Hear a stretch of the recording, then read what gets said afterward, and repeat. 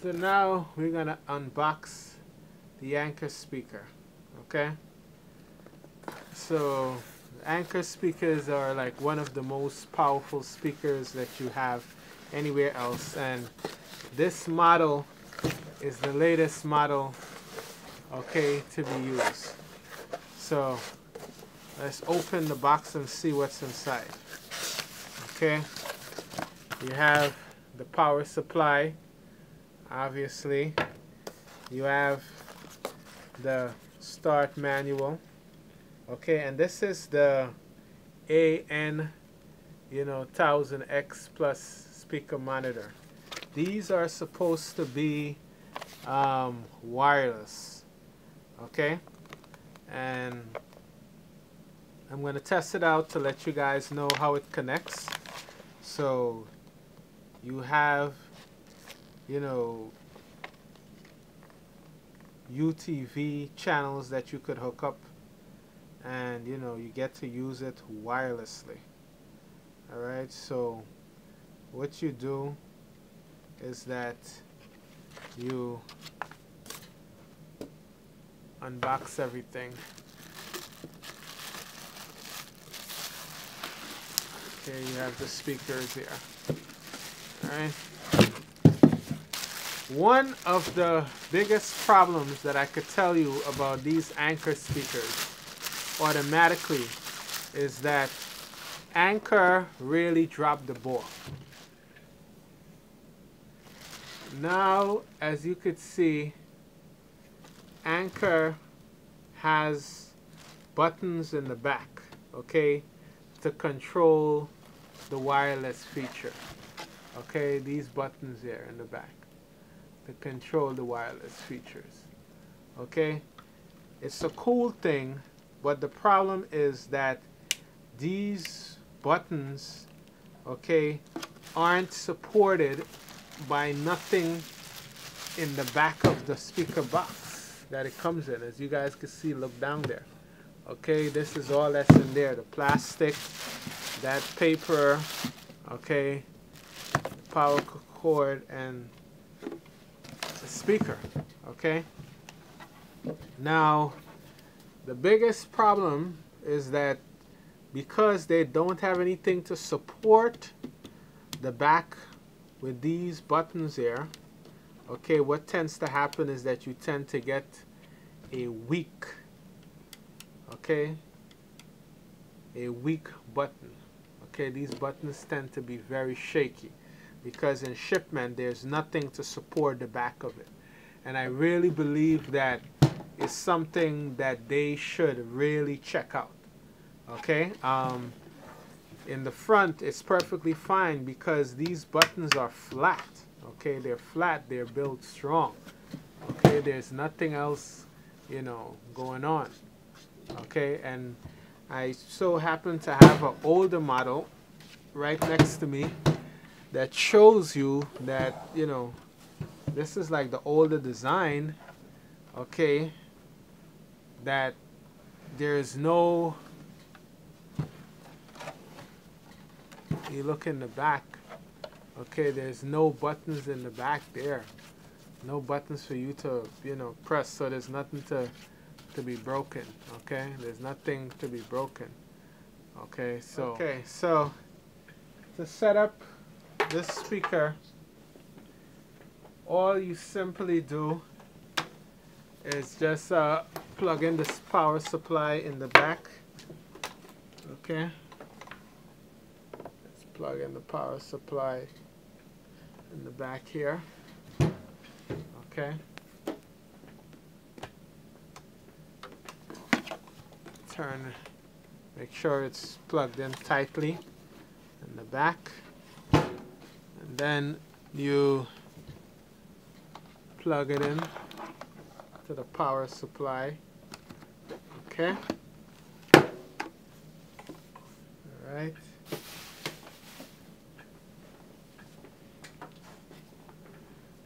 then you have different inputs okay? You have the XLR um, balance input in the back.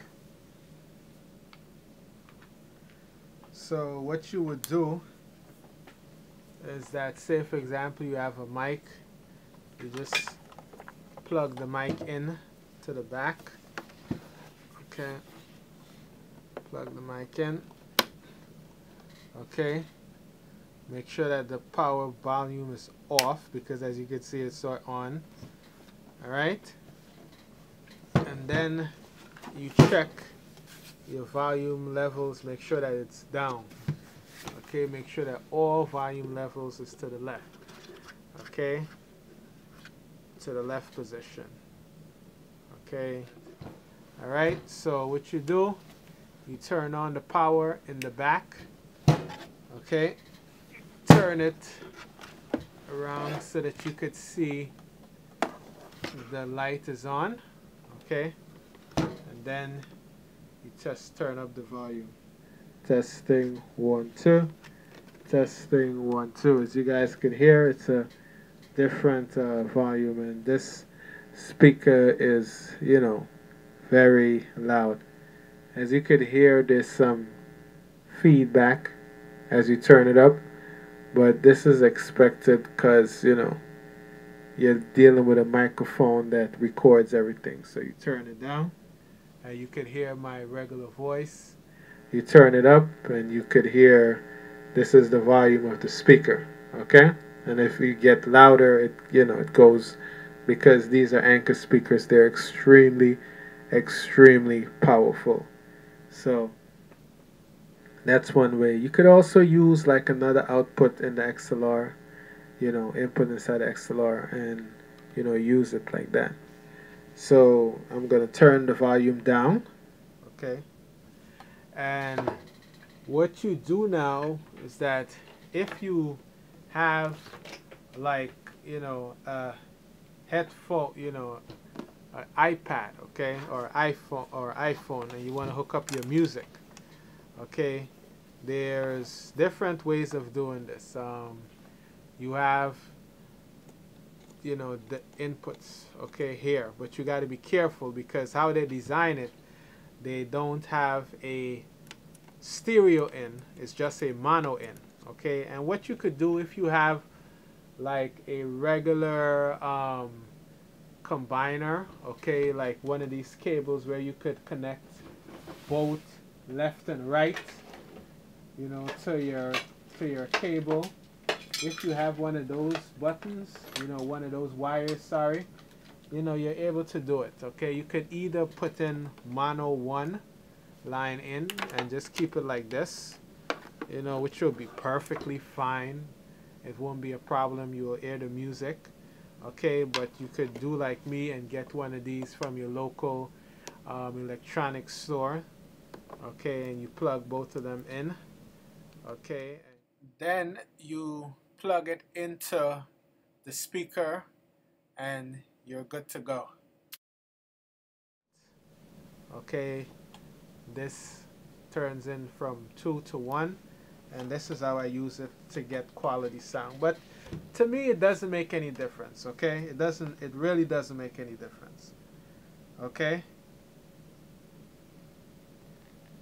And what you will do, okay, is that you plug in your headphone into you know your line headphone into your iPad or whatever. And you know you choose whatever song you want to choose and you know say for example you want to listen to you know some music what you'll do is that you'll just put it in and you turn it up. Okay? Alright. Alright, so. Okay, and you plug it in. Okay, let's play that again. Alright. Okay, but as you can see, you can't have both plugged in your microphone and the line in. So you could use either or okay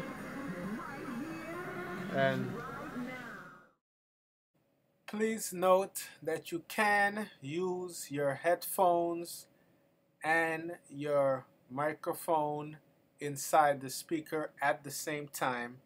But what I should have stated clearly was that you have to make sure that the level on your microphone is set up correctly. It's not too close to the speaker, okay? Because as long as your microphone is too close to the speaker, you're going to get that feedback. But you can plug in both at the same time. But you have to make sure that your microphone is away. Because with whatever you're putting in, in terms of the, your iPad or computer or whatever you, you could always adjust the volume, okay, from that angle. But with the microphone, there's only one volume, if you guys understand what I'm saying. Okay, and you could turn it up and turn it down. Okay.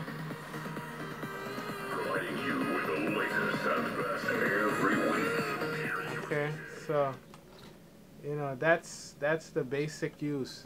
There's also a line in that you could use okay um, like if you're using like different you know Mackie mixers and stuff like that you could use it. For example like you know I have a Mackie mixer right here okay? What I would do is um, plug it my line in my line out into their line in okay?